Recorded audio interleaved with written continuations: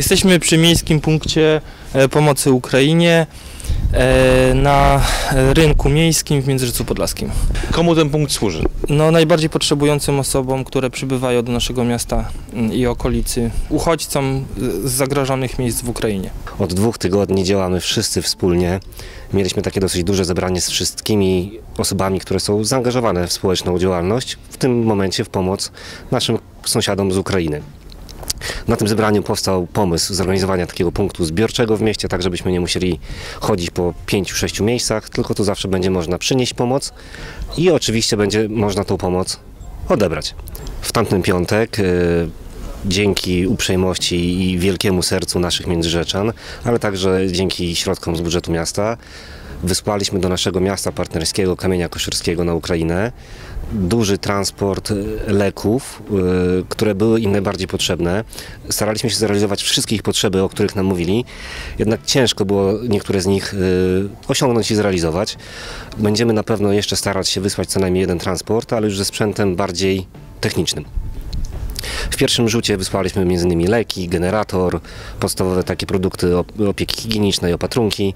Mer Kamienia Koszyrskiego był bardzo zadowolony, bardzo nam e, dziękują, ale e, dziękują też za to, że nie za samą fizyczną pomoc, która jest tak naprawdę bardzo potrzebna, ale dziękują także za wszelkie przyjawy wsparcia, chociażby w postaci wpisu w internecie, bo czują tą jedność, która w tym momencie e, od nas płynie. Ilu tych Ukraińców w tym momencie jest fizycznie mieście Międzyrzec Podlaski? Czy tacy, czy tacy w ogóle są? Oczywiście, że są w naszym mieście Ukraińcy przybywali jeszcze przed wybuchem e, tej wojny. E, na ten moment jedyną pewną informacją jest to, że 60, około 60 obywateli Ukrainy wystąpiło o nadanie numeru PESEL, ale wiemy, że tych e, mieszkańców Ukrainy na terenie miasta jest zdecydowanie więcej. Jak będzie mogła wyglądać przyszłość? To bardzo ciężkie pytanie. Wszyscy trzymamy kciuki, żeby ta nieszczęsna wojna wywołana przez Putina jak najszybciej się skończyła, ale doskonale wiemy, że część z tych ludzi, nawet gdyby chciało, to nie ma do czego wrócić o tą przyszłość, to być może tak bardziej skromnie pytałem pod kątem Międzyrzeca Podlaskiego. Czy nadal będzie prowadzona zbiórka i co jest tak naprawdę potrzebne w tym momencie, żeby nie przynosić być może maskotek, bo ich już jest za dużo, ale bardziej konkretna pomoc typu, nie wiem, pieluchy dla małych dzieci, e, środki higieniczne? te potrzeby bardzo dynamicznie się zmieniają. Ile w pierwszym tygodniu priorytetem były poduszki, koce i karimaty, to teraz y, większym problemem jest tak naprawdę chociażby wyżywienie dla małych dzieci, pieluszki, ale też coś, o czym nie wiedzieliśmy, czyli na przykład bielizna dla osób dorosłych. W tym momencie już jakby wchodzimy w drugi etap pomocy, czyli osobom, które już tutaj dotarły na nasz teren, do, do naszego miasta. E, to są zajęcia sportowe i to są zajęcia zorganizowane przez KS Taekwondo Międzyrzec Podlaski, czyli klub sportowy Taekwondo Międzyrzec Podlaski. Dwa razy w tygodniu, po wtorki i czwartki o godzinie 16.30. Dodatkowo robimy tutaj też zorganizowane zajęcia na pływalni dla, dla dzieci, e, dla Ukraińców, dla osób ze wschodniej granicy i to są poniedziałki o 15 i piątki o godzinie 14. Oczywiście wszystkie te zajęcia są pod opieką instruktora, także można spokojnie korzystać. Osoby, które przyjęły y, uchodźców ukraińskich, proszone są o zgłaszanie się do nas, jest zapewniona pomoc. Dodatkowo w środę też o godzinie 20 szkoła pływania turbo, którą mamy tutaj na, na pływalni, organizuje takie zajęcia, więc basen jest trzy razy w tygodniu i zajęcia takie ruchowe przez taekwondo organizowane są dwa razy w tygodniu.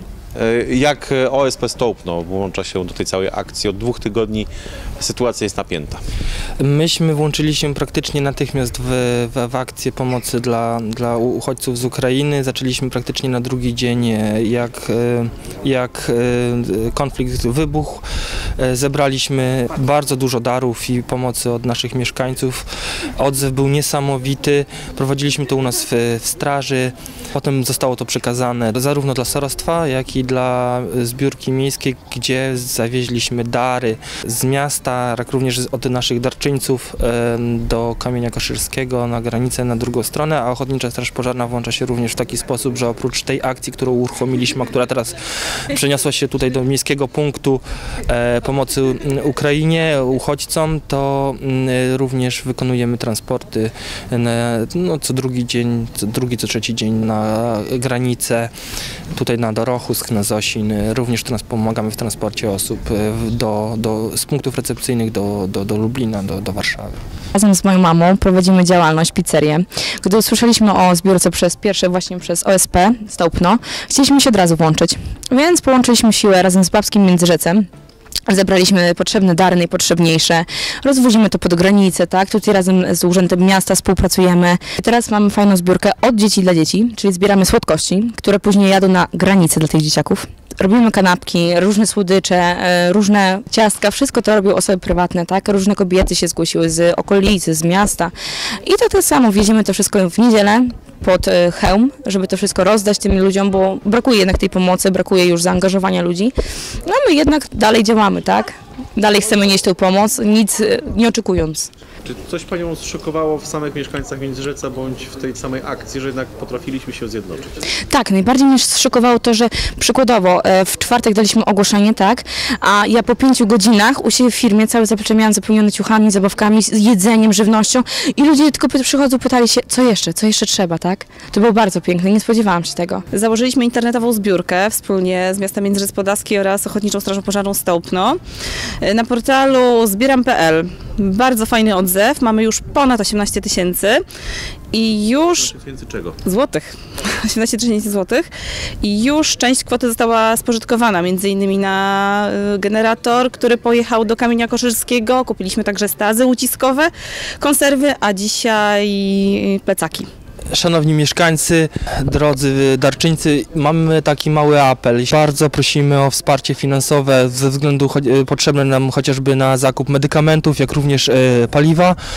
E, zbiórka jest ogłoszona na naszych profilach e, facebookowych.